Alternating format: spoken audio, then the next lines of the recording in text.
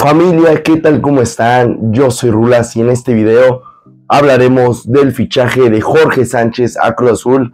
Ya lo habíamos hablado previamente, pero ahora sí lo podríamos confirmar. Si te gusta este tipo de contenido, te invito a que te suscribas al canal y compartas mucho este video, este canal acerca del fútbol mexicano, para que lo cheques. Este canal no es exclusivo de ningún equipo, simplemente hablamos de fútbol. Y arrancamos ya con el video donde César Luis Merlo y Fabricio Romano nos confirman que Jorge Sánchez llegará al Cruz Azul de manera definitiva, donde en estos días pues vendrá a hacer sus exámenes médicos y firmará un contrato hasta el año 2027. Un paso bastante corto en el fútbol europeo, donde estuvo en el conjunto de Ámsterdam con Ajax y con el Porto, donde en Ajax alcanzó los 26 partidos, por ahí unos goles, creo que 3, 3 asistencias, y al final con Porto, donde tuvo 14 duelos, donde no acumuló ningún número, pero al final Jorge Sánchez decide volver a México. Y este jugador dejando Europa se convierte en la lista de jugadores en divisiones, en ligas top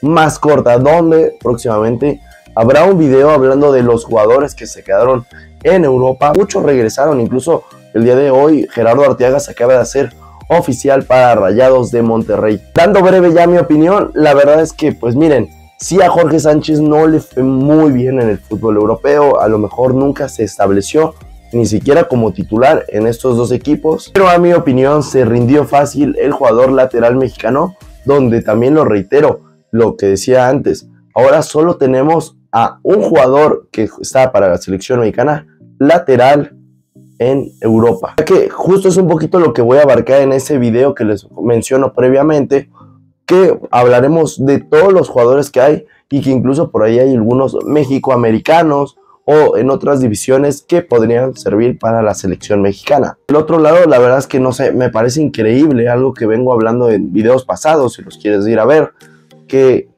pocos jugadores tenemos, pocos jugadores van y que incluso jugadores de liga de expansión están yendo a Europa por encima de los de Liga MX, que es algo que quiero hacer en otro video para que te suscribas. Cruz Azul, pues bueno, se sabe que este equipo está innovando, reforzándose, que prácticamente un plantel entre comillas nuevo, donde cambiaron de portero a delantero jugadores. Yo no mal recuerdo, tampoco les ha ido de la manera que se espera, pero también aficionados de Cruz Azul, pues entiéndalo, es un proceso.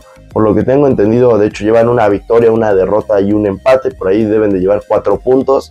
Y donde el Cruz Azul, pues bueno, se reforzarían con este nuevo jugador obviamente vendría a sumar y aportarles, pero también la pregunta, afición celeste, ¿qué te parece este fichaje? ¿Te gusta Jorge Sánchez? ¿Te encaja en el Cruz Azul?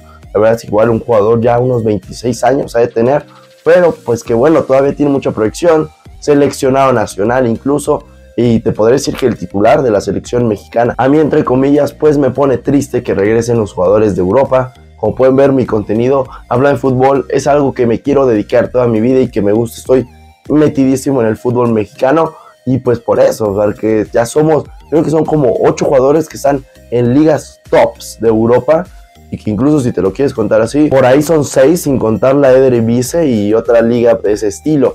Entonces, no sé, la verdad sí es bastante lamentable un poquito su regreso, sinceramente, incluso el de Arteaga, pero les gusta este fichaje, tú si eres aficionado del fútbol mexicano, te gustan los regresos de Europa, realmente se ve bastante mal esto. Mi familia, espero que te haya gustado este video, suscríbete al canal, se viene muy buen contenido, así que estate atento, activa la campanita, te quiero mucho, cuídate, soy tu amigo Rulas Gaming, adiós.